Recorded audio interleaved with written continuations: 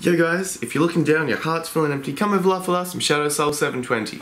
So, um, I'm here to talk to you guys today about Spring Rebellion. It's a protest rally sort of group that's international at the moment. Um, and what they're all about. I'm going to be talking about whether they're good, bad, uh, whether their points and stuff are valid or not, and why we should care. Alright, so, okay, I'll, I'll, give you a little bit of background information first. So, uh, Spring, yeah, Spring Rebellion is a group that focuses on climate change. So the reason that they rally and stuff is to try and get people's attention, especially like governments and stuff, because they don't feel like enough stuff is happening towards climate change. They feel like our planet's dying, um, that, you know, for example in Australia in the last 10 years nothing's really been done about climate change. That was the last time we had policies done, and apparently something like I, I could be making these statistics up. I don't remember, but I was told something like over the last 10 years during that time, our CO2 emissions have doubled. apparently, which is huge and really awful. And people already know stuff like that the ice caps are melting, um, sea's rising, etc. I don't know. You, you, guys can listen to Bliss n Eso's song "The Sea Is Rising" if you want. That's a great song. Um, and yeah, so are they? Is it a good thing? Is it a bad thing? Are they righteous? I don't care. I don't care about any of that stuff, right? Um, the, the main point that I want to try and get across is that they're doing some some of the rallying stuff is fair enough. Um, like I went to this thing the other day where there's a whole bunch of people in a park uh, with signage and stuff, and people were hanging out talking about the issue, and that's really good. That's really beneficial. Um, but there's other times when they'll do stuff such as uh, marching through a, a, town, for example, right, or a city or whatever, and they'll be going. I don't know if this is on purpose or not, but they'll be going so slowly that they hold up all the traffic. Um, and it might actually be a goal. Because the main reason for protesting is to try and disrupt society enough, apparently, so that uh, so that the government feels like they have to step in, and then they potentially talk demands with these people, and then they get to a point of, hey, uh, we want this, we want this, what's it going to take for you to stop doing this? Um, and then they're going to say, their demands or whatever, what they want changed, the government's actually going to listen, potentially do something. That's the idea behind protesting. It's so that you can get through to the government, the government body, whatever that may be, um, to get to get a point across. Now, holding up traffic is pretty bad. Uh, like, if it's on accident, it's not so bad. But you know, there's also this thing they've got called a die-in, which is interesting uh, which stirred up some issues and stuff recently down here, a little bit, uh, at least to talk about it, which was um, that people lie on the ground in a public area because they're a casualty of climate change. So it's a metaphor, metaphorical thing that people literally trying to go to do, right? They lay on the ground. And this is something that I didn't know how to approach at first because I'm very open minded. And as far as these guys go with their issues, I support their cause 100%. I do feel like the government needs to do more about climate change. I do feel like there's not enough going on. Um, you know, it is an international world issue, of course. Um, I don't know what it's like in other countries, but I'm assuming it's not that different.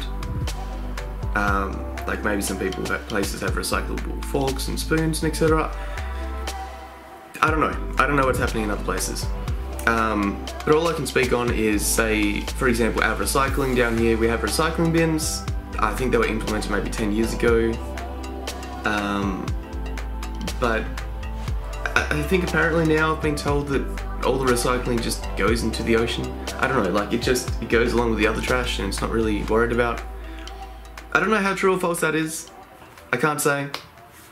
These are just things to think about. Um, but I, I feel like there's definitely not enough happening throughout society. That they, the rebellion's point is that the government isn't putting in enough effort. I think that's probably true. And there's definitely a lot of individuals that put in the most effort, right?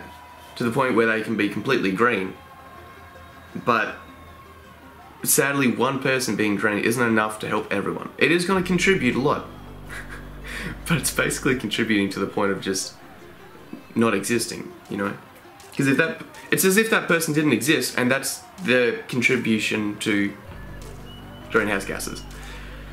And large scale change will help a lot. Now, I'm not saying, yeah, so back to my main point.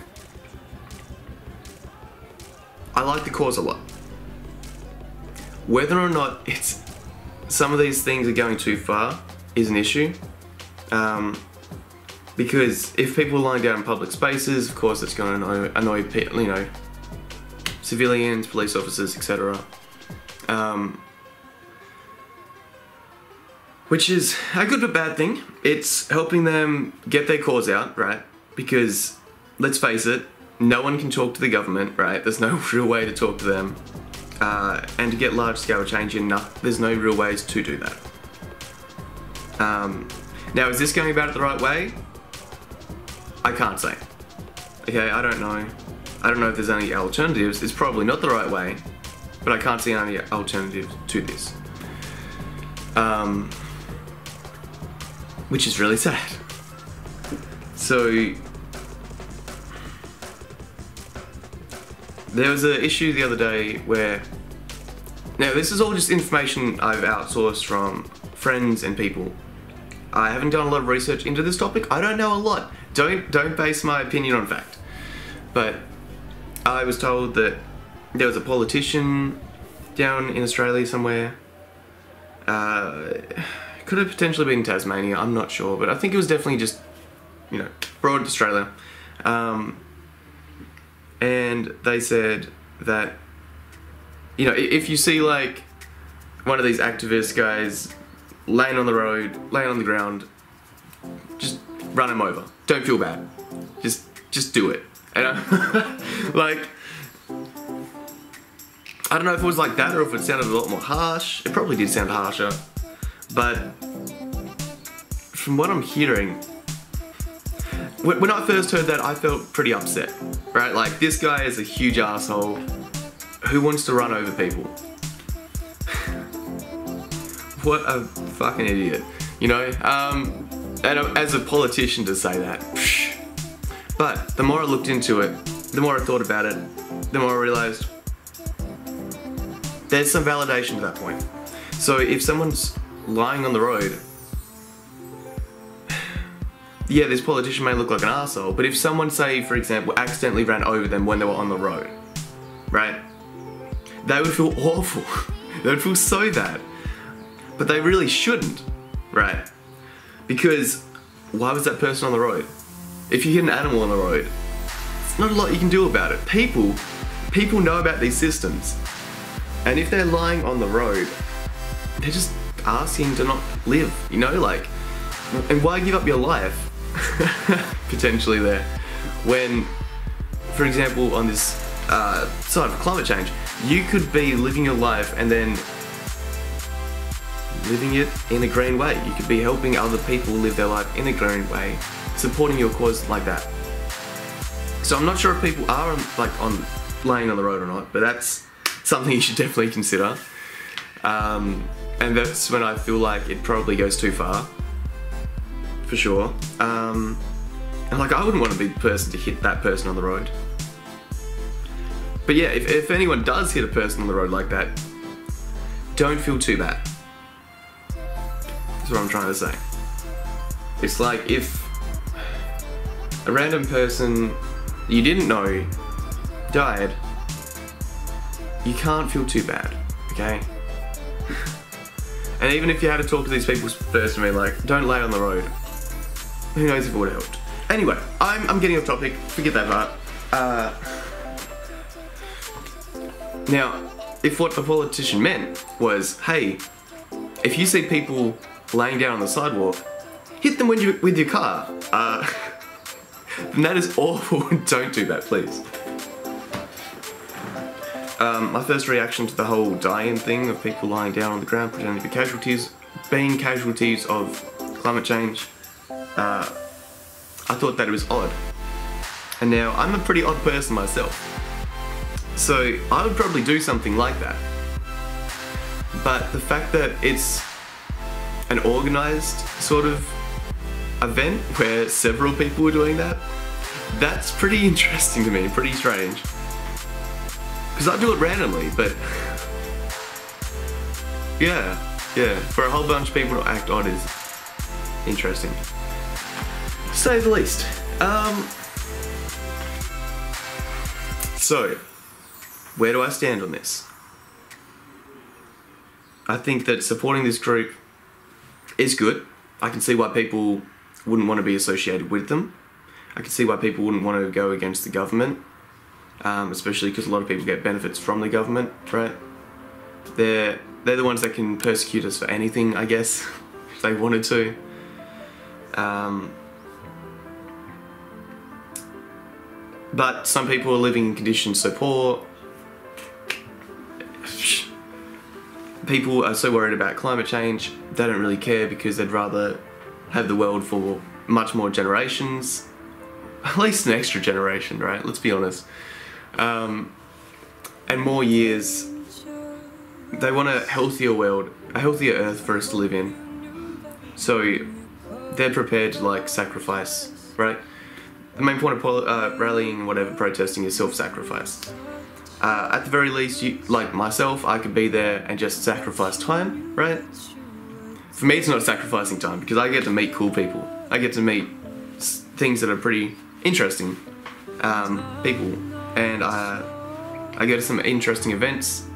I meet ideas that I either agree with or don't. But being there and, and just supporting it's fine. Getting active, active in these events, maybe, maybe not to a point. Okay, I can see why people wouldn't want to. Um, should you listen to my advice and do it or not do it? No, no, you should make up your own decision. and if you're watching this video trying to decide that, or if you're just watching my video because you want to, right? You think it's some sort of entertainment, that's awesome. That's, that's really cool. Yeah, uh, don't listen to my opinion, just let it, like, reinforce what you're thinking. Um, which is, for me, it's it's going far but not going too far. It's it's trying, it would be, it's it's definitely fighting for a cause you believe in, but it's not fighting to a cause in, that you believe in that could be fairly harmful to others, right? Um, and if it took away from the main cause, then that wouldn't help either. Now, are these protesters bad people? Right? Or is it actually the government? Oh no, the government. That's bad, right? Both are correct, both are incorrect. It's not that this group or this group, it's not that either one of them is bad. It's just that they're people. And this group of people and this group of people, they're not communicating to each other, right? These people that have this huge problem, these people that are supposed to take care of problems, right? They're not communicating. And it's a, it's a huge government body, and they probably have lots of things that they're doing all the time, as we all know, right? They're, they're in control of like everything, so they'd have they wouldn't have a lot of time to do this sort of stuff. But these people, they have a lot of time to do stuff, and maybe that's a fact of society, um, or maybe it's just because there's a rebellion, right? It's a lot of things that people feel strongly about, and they want to change. It's not necessarily that they have a lot of time. They could, and that would be a factor, I guess. But my main point is that both of these sides, neither one's bad. They're just bad because they're not communicating properly. And these guys uh, that are protesting, they're trying really hard to communicate. And because they have to try so hard to communicate, they're going about it the wrong way, right? But there's no other option left for them. And these guys, they're not trying to communicate. They've got their hands full. If you imagine it like this, it's kind of like the government is, I don't know, your, your, your strict father at home who's like, writing down notes. He's always like about business, right? Um, as soon as he's finished one task, he's on to the next. So like you're trying to get his attention. He's just he's just writing. He's just he- he's like I, I can't talk right now, Johnny, and like that's why these people feel like they have to protest so hard. And then once he's finished the job for the day, he goes on to the next one because they were always busy with everything. And then once they have some free time, what do they want to do? They want to relax and sleep, right? They want to not do the stuff they have to do. So they're full on into work, then they're full on off work. That leaves no time for Johnny, right?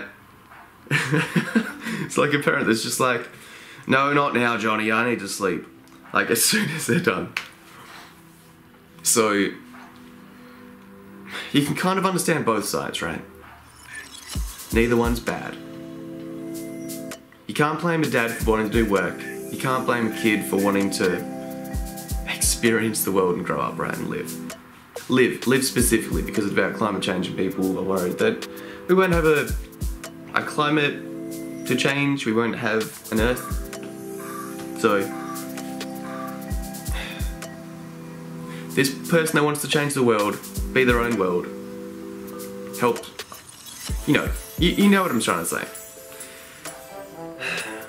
These two bodies, these two groups, no communication's happening. And that's really sad.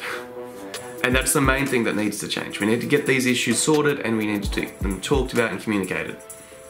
Now, if they were to talk right, both these groups, what would actually change? That's what I feel like people are going to struggle on. How do you actually make the world more green in like in an industrious way? Now, I'm pretty sure there's a few suggestions out there. I don't have them. I definitely don't have them. I ask for them uh, fairly often. Like people have integrated more, like I was saying earlier, uh, cutlery, right, into restaurants that's biodegradable. That's great. That's good. Uh, McDonald's straws, they're paper, which is good. And like sometimes they serve their purpose for like the drink's duration, but with like a thick shake or a frozen Coke or something. Uh, sometimes I'd rather just have metal straws, but apparently they can like poke your eye out or something. It's real bad. And I miss plastic ones at times. It's just because like by the time you're drinking it, like at the top of the straw, it gets all like it's like there's no there's no way to suction anything out anymore. The whole thing's just folded over. It's like this. it was like this originally, now it's like this. Those are some issues, that, those are some things we could tweak. so, you know, even if it was, for example, the straws themselves. What if one side of the straw had a little bit of some material on it, right? Uh, it could be plastic, I don't really care. Like, it's still a lot less on the straw. It still helps. But some sort of material on the top that would stop it from uh, just melting so fast. right. Because it's only really the top of the straw that seems to do that. I could be wrong. Don't know. But it's just little things like that. We need to communicate these issues. If McDonald's is not doing straws properly, we need to tell them. Are they going to change? Who knows? It's a large corporate entity, right? One person complaining about their straws isn't going to help it, but a bunch, maybe. And I'm sure a lot of you can relate to this on a larger level. Regardless of your views on climate change and the government. So, yeah. I think that's about all I wanted to cover in this video. Yeah? Yeah. Yeah. Uh, if you have any suggestions for how we could help with climate change, um, and if there's some sort of stuff that we should be doing a lot more globally, please leave it in the comments below. I know that the main issue about getting the government to notice a lot of this stuff is because they have a lot of the power and control. They do have the majority of the economy, the, the uh, money in their wallet. They take taxes from people anyway. And yeah, that goes to a whole bunch of different stuff like medical bills and stuff that's really important. It's also important to note that a lot of the things that can help the world um, and climate change and that sort of stuff is stuff, regardless of what side you're on, as a fact that needs to be shipped out fairly globally, right? And fairly, fairly industrially. Like recycling bins, for example. They get delivered to every home. People now use them all the time, right? Or at least people say they use them. I don't know. Um, it's the same sort of thing. If we want greener energy, if we can supply and ship that out in tandem with everyone else, I don't know how to explain what I'm saying right now, but if we ship it out all at the same time to a lot of places, that's going to help. That's going to help start trends. People are going to start doing it. You might have to make laws around it, but some people would be happy with that. Others wouldn't. Um, maybe we could start. Some people are gonna hate this suggestion, but maybe we could start implementing bikes. Just bikes that you can go on, and that powers something in the house, or even having the option to do that. Having a treadmill, a bike that powers something. Maybe people will start getting a little more fit. Not that I'm saying people are fat, but if people want to get fit without going to Zap all the time or like a gym, uh, riding a bike casually while watching TV, it's okay for a bit. There's going to be times when you don't want to ride a bike at all and watch TV, but it's the implementation implementation of these that help. And it's always important to have an open mind and not just focus on one side. Like I wouldn't want to ride on one of those bikes because I don't like I don't I like I don't like doing a lot of exercise. I like just watching TV and relaxing. And then you have the other people that say, "Oh, I love. I love doing exercise. You get fit, you get to watch the TV, you get to do both at the same time. I wouldn't do it any other way. I don't know why you don't. It's not good to be on either side. It's good to accept that both sides have faults. That TV is good to be watching when you're relaxing, and some people are going to prefer that, and some people are going to prefer to get fit while watching TV. So it's good to at least take, keep these things in mind so you can implement strategies that help both, right? So we eventually get to the same goal, which helps everyone. Alright, well, I'm Shadow Soul 720. I've, I'm a life coach. I've been talking to you guys today. Hopefully this helped. Uh, life coach is just a general title I put there. It doesn't need to mean anything with this video. Just letting you guys know. Um, that's what I do. And yeah. I hope this video has helped. Support each other and take care, guys. And I'll catch you all somewhere. Peace.